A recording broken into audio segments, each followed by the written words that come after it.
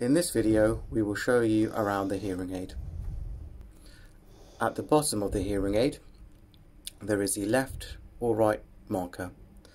The left sided hearing aid, such as this one, has a blue marker. The right sided hearing aid have red markers. At the bottom of the hearing aid there is also the lip for the battery drawer. Pull on the lip to open the battery drawer which also turns off the hearing aid. To turn the hearing aid on, close the battery drawer. Next to the battery drawer there is the volume stick. Rock the stick upwards and the volume will increase. Rock the stick downwards and the volume will decrease.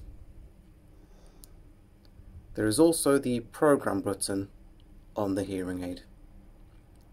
Simply press the button to activate different programs.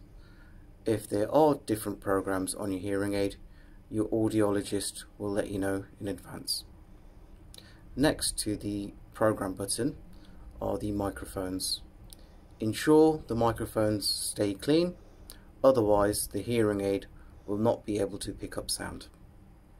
The sound travels through the plastic hook and the tubing and through the mould.